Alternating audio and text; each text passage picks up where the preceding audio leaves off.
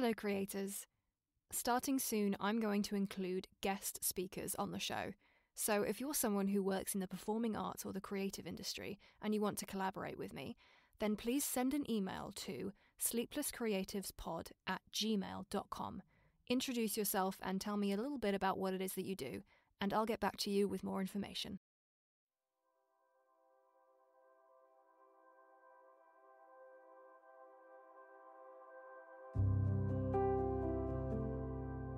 Hello, creators, and welcome back. Now, most of you may know that February marks the start of Black History Month. Black History Month began in 1915, half a century after slavery was abolished in the US. The theme for 2022 is Black Health and Wellness, which explores the activities, rituals, and initiatives that black communities have done in order to be well. Today, I'm going to be reading a selection of poetry by Frances E.W. Harper. Born in 1825 in Baltimore, USA, to free African American parents, not only was Frances a poet, a writer, and a lecturer, but she was also the first African American woman to publish a short story, and she was also a very influential suffragist, reformer, and abolitionist for the American Anti Slavery Society, and a founder of the National Association of Colored Women Clubs alongside Harriet Tubman.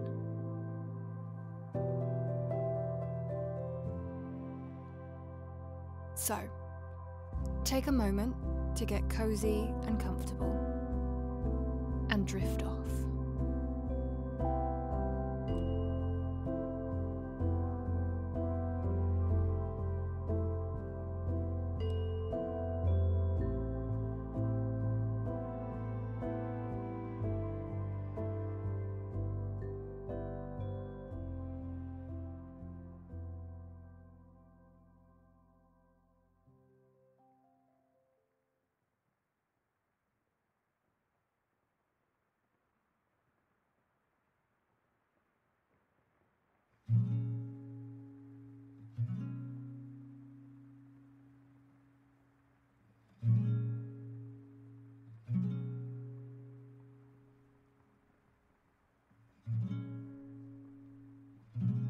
My mother's kiss.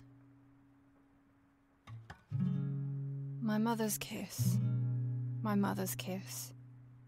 I feel its impressed now. As in the bright and happy days, she pressed it on my brow.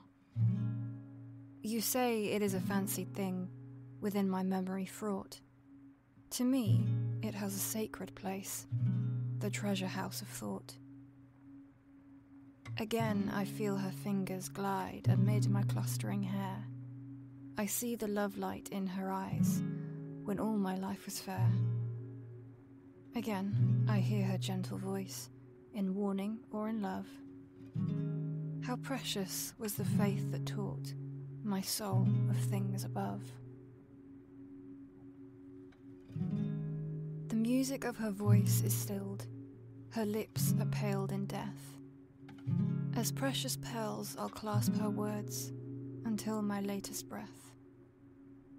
The world has scattered round my path, honour and wealth and fame, but naught so precious as the thoughts that gather round her name. And friends have placed upon my brow the laurels of renown, but she first taught me how to wear my manhood as a crown.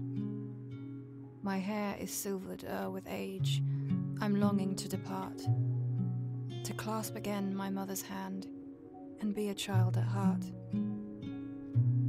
To roam with her the glory land where saints and angels greet, to cast our crowns with songs of love at our Redeemer's feet.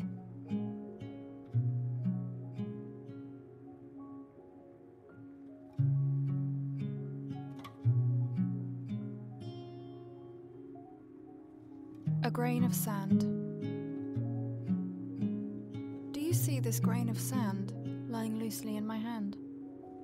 Do you know to me it brought just a simple loving thought? When one gazes night by night on the glorious stars of light, Oh, how little seems the span measured round the life of man. Oh, how fleeting are his years, with their smiles and their tears. Can it be that God does care for such atoms as we are? Then outspake this grain of sand I was fashioned by his hand. In the starlit realms of space, I was made to have a place. Should the ocean flood the world, where its mountains gainst me hurled, all the force they could employ, wouldn't a single grain destroy. And if I, a thing so light, have a place within his sight, you are linked unto his throne, cannot live nor die alone.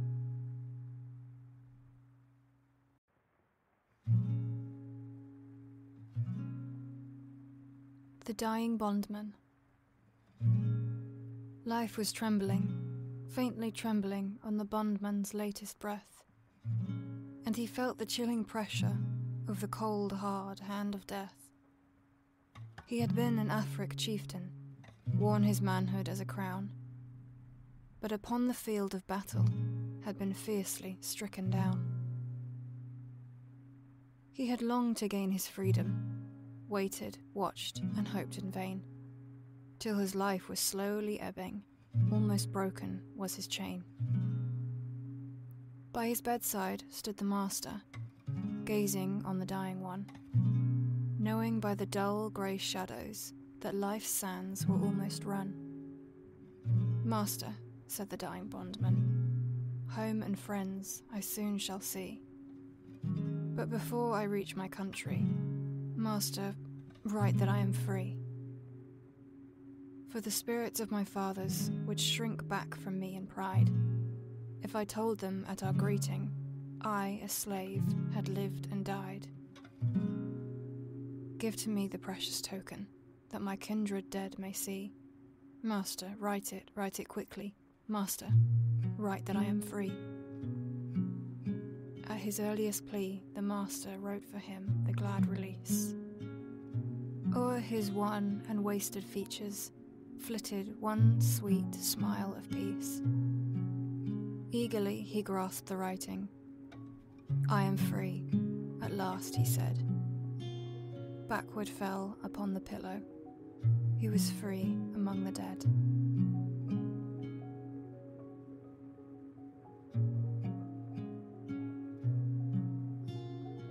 Songs for the People. Let me make the songs for the people, songs for the old and young, songs to stir like a battle cry, wherever they are sung. Not for the clashing of sabres, for carnage, nor for strife, but songs to thrill the hearts of men with more abundant life. Let me make the songs for the weary amid life's fever and fret, till hearts shall relax their tension and careworn brows forget. Let me sing for little children before their footsteps stray, sweet anthems of love and duty to float o'er life's highway. I would sing for the poor and aged when shadows dim their sight of the bright and restful mansions where there shall be no night. Our world, so worn and weary, needs music pure and strong to hush the jangle and discords of sorrow, pain, and wrong. Music to soothe all its sorrow, till war and crime shall cease, and the hearts of men grow tender, girdle the world with peace.